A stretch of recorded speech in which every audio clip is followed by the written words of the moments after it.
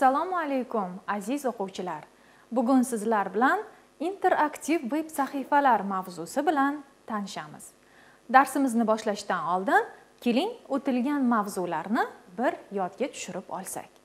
Aziz o'quvchilar quyida html hujjatining bir qismi berilgan. Diqqat bilan qarang ushbu jadvalda nechta katakcha mavjud? Demak biz ushbu topshiriqni osongina hal qilishimiz uchun berilgan teglarni bizga qulay tarzda yozib olishimiz kerak. Keling quyidagi tarzda yozib olaylik. Mana ko'rib turganingizdek demak table teglarini orasida bizda jadval satrlari o'rin olishi kerak. Ko'rib turganingizdek jadval satrlarini quyidagicha tartiblab oldik. Ko'rinib turibdiki ushbu jadvalda demak ikkita satr mavjud ekan. Birinchi satrimizda uchta katakcha bor ekan. Uchinchi katakchamizga ahamiyat beradigan bo'lsak demak ikkita satr birlashtirilganligini ko'rishimiz mumkin. Ikkinchi satrimizda esa ikkita katakcha mavjudligini ko'rishimiz mumkin. Katakchadagi ma'lumotlar esa radio checkbox tekst submit reset. Bular sizga nimani yodga tushirdi? Albatta bular formaning elementlari edi. Yodingizga tushdimi? Radio yordamida bir nechta qiymatlardan faqat bittasini tanlar edik. Checkbox yordamida bir nechtasini tanlar edik. Tekst yordamida matn sohasi tanlanadi. Submit va reset yordamida esa formani jo'natish va formani tozalash kabi ishlar amalga oshirilar edi. Mana shu jadvalni biz veb sahifada ko'radigan bo'lsak quyidagi holatda bo'lishini ko'rishimiz mumkin. Albatta jadvalimizda chegara chiziqlari bo'lmaganligi sababli bizga biroz noqulay demak bu yerda nechta katakcha borligi bizga topishimiz sal mushkulroq. Agar biz bunga chegara chiziqlarini aks ettiradigan bo'lsak demak jadvalimiz quyidagi ko'rinishda aks etishini ko'rishimiz mumkin. Bundan ko'rinib turibdiki jadvalimizda demak beshta katakcha mavjud ekan. Chunki eng oxirgi uchinchi ustunimizda ikkita satr birlashtirilganligini ko'rishimiz mumkin. Demak jami katakchalar soni beshta ekan. Aziz o'quvchilar muloqot qila oladigan qanday sahifalarni bilasiz? Mana shunday sahifalar bilan siz ishlaganmisiz? O'tgan darsimizda biz sizlar bilan formalar haqida gaplashgan edik to'g'rimi? Ya'ni berilgan so'rovlarga javob to'ldirishlarni ko'rib chiqqan edik. Yana mana shunday muloqot qila oladigan sahifalar bormi? O'ylab ko'rganmisiz? Demak u belgilangan vaqtda yoki bo'lmasam ayni vaqtda veb sahifa orqali biz muloqotlarni ham amalga oshirishimiz mumkin ekan. Keling bugun mana shunday saytlar haqida gaplashsak. Demak biz veb sahifalarni tashkil etish texnologiyasiga ko'ra ularni uch turga bo'lib olishimiz mumkin ekan. Ya'ni birinchi turi statik veb sahifalar ikkinchi turi esa dinamik veb sahifalar va uchinchi turi interaktiv veb sahifalar turiga bo'lishimiz mumkin. Endi mana shu veb sahifalarni bir biridan farqini ko'rib chiqsak. Demak statik veb sahifalar bu html tilida yozilgan html yoki htm kengaytmali matn rasm kabi elementlarni o'z ichiga olgan tayyor holda serverda saqlanayotgan o'zgarmas fayllar statik veb sahifalar ekan. Dinamik veb sahifalarchi. Dinamik veb sahifalar bu foydalanuvchi so'rovini bajarish jarayonida hosil qilingan o'zgaruvchan veb sahifalardir. Demak foydalanuvchi tomonidan so'rovlarni amalga oshirish jarayonida server tomonidan demak ma'lumotlar ombori asosida o'sha ma'lumotlar asosida tashkil qilingan veb sahifalar bu dinamik veb sahifalar ekan. Interaktiv veb sahifalarchi interaktiv veb sahifalar muloqot qilish imkonini beruvchi barcha veb sahifalar interaktiv veb sahifalar sirasiga kirar ekan. Demak bunday veb sahifalar bevosita muloqotni tashkil qilar ekan. Interaktiv veb sahifalarimizni ham yaratishni o'ziga yarasha qonun qoidalari tartiblari mavjud ekan. Hozir mana shu tartiblarni qoidalarini ko'rib chiqsak. Demak birinchi qoida. Veb sahifaning deyarli barcha qismi server dasturlari yordamida generatsiya qilinadi va qayta ishlanadi. Misol tariqasida veb saytlardagi elektron pochta ochishni ko'rib chiqsak. Demak elektron pochta ochish jarayonida birinchi navbatda undan ro'yxatda o'tish paytida foydalanuvchining nomi kiritiladi. Nomlar bo'sh ekanligi tanlanadi. Mana shu nomlar haqiqatda ham boshqalarda takrorlanmaydimi? Mana bular aniqlanishi. Tanlash asosidagi ularga ba'zi bir nomlar tavsiya qilinishi mumkin. Bundan tashqari parol bilan bog'liq bo'lgan amallar bajariladi. Yoki bo'lmasam birinchi navbatda elektron pochta ochgan jarayonda ularni tabriklash yoki bo'lmasam tug'ilgan kunlaridagi tabriknomalarni jo'natish ham aynan shular jumlasiga kiradi. Ikkinchisi veb sahifalar generatsiyasi uchun barcha ma'lumotlar tayyor ma'lumotlar omboridan olinadi. Misol tariqasida maktabingizdagi kompyuter serverida joylashgan elektron darsliklarni ham misol tariqasida keltirish mumkin. Albatta ushbu elektron darsliklar ichida tayyor test ilovalari ham bor. Mana shundagi test ilovalari kompyuterga ya'ni ma'lumotlar omboriga oldindan kiritilgan holatda joylashgan bo'ladi. Mana bularni biz misol qilib keltirishimiz mumkin. Uchinchisiga o'tadigan bo'lsak veb sahifaga ruxsatni cheklash. Ba'zi bir veb sahifalarga kirishda ba'zi bir veb sahifalarni faqatgina ko'pchilik o'qishi mumkin ba'zi birini esa ularni o'zgartirish huquqiga ega bo'lishi mumkin. Yoki bo'lmasa veb sahifalar bilan ishlash jarayonida undan foydalanishda ba'zi birlar admin tariqasida kiradigan bo'lsa ba'zi birlar o'qituvchi tariqasida ishlashi mumkin ba'zilar esa o'quvchi tariqasida ya'ni aynan mana shu elektron darsliklarni nazarda tutadigan bo'lsak mana shunday foydalanuvchilar alohida kirish huquqiga ega bo'ladi.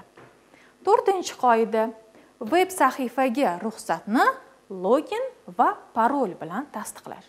Albatta birinchi bor kirilganda agar ro'yxatdan o'tilmagan bo'linsa avtomat ravishda unga yangi ro'yxatdan o'tishni yangi parol va loginni olishni tavsiya beriladi.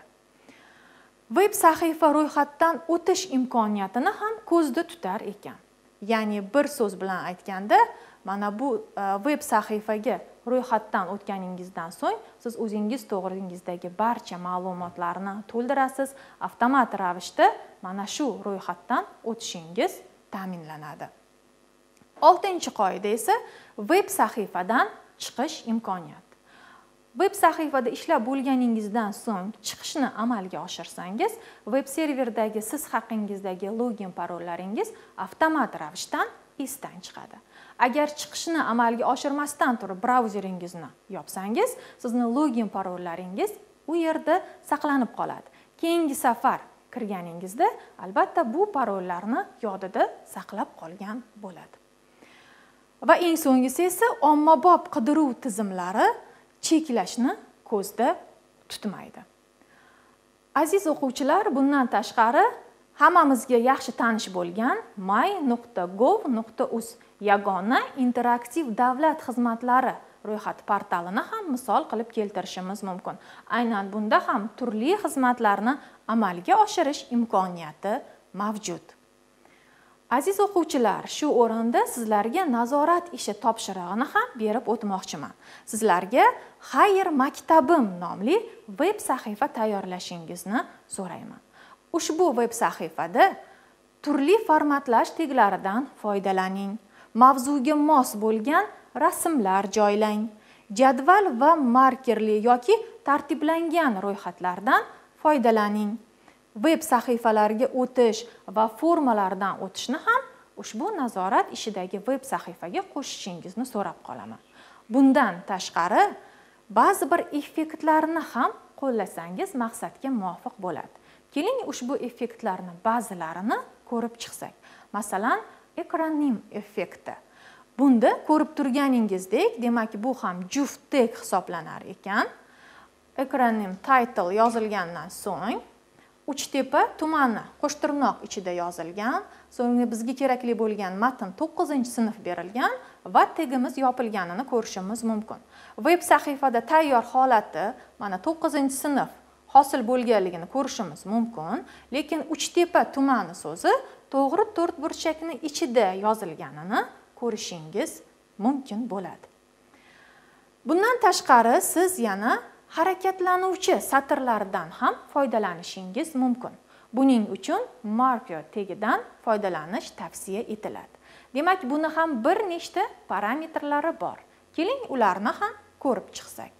Masalan marker direction qo'shtirnoq ichida left harakatlanish chapdan boshlab harakatlanayotganini ko'rishimiz mumkin.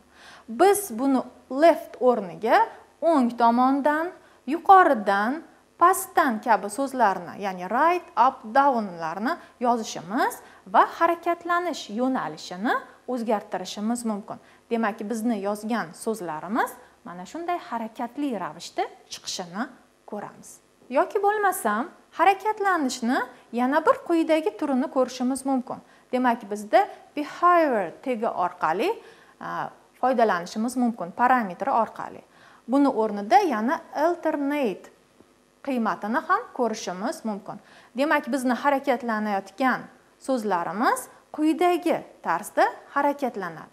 Biz buni o'rnida yana boshqa harakatlanish qiymatlarini ham amalga oshirishimiz mumkin.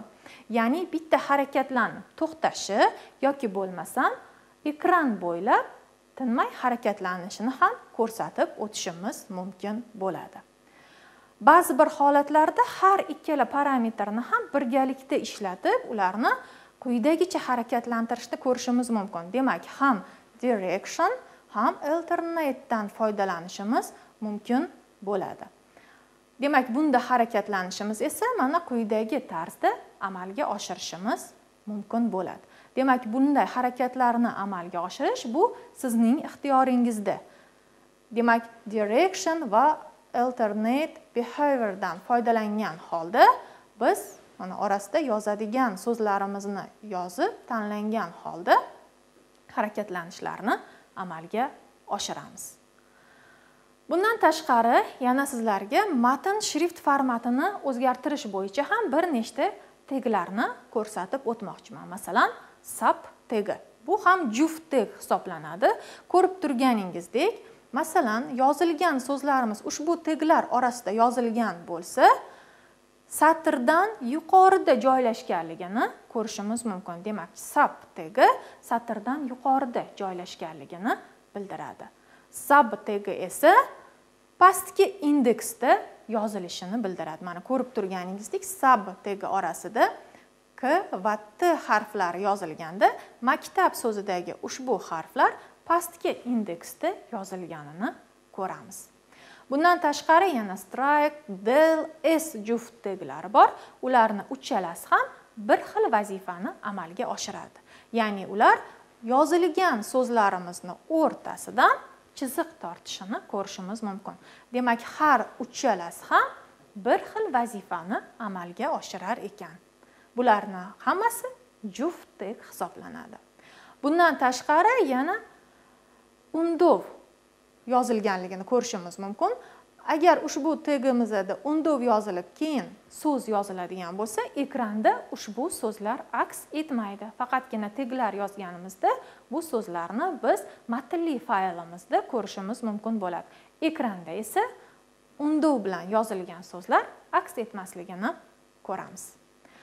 Aziz o'quvchilar demak topshirig'imiz yodingizdan chiqmasin. Nazorat ishi sifatida xayr maktabim nomli veb sahifani o'zingiz bilgan holda chiroyli holda tayyorlashingizni so'rayman. Aziz o'quvchilar qanday sharoit bo'lsa ham doimo bilim ilm olishdan charchamang. Yuqori marralarni zabt eting. Zero yurt kelajagi siz azizlar qo'lidadir. Xayr salomat bo'ling.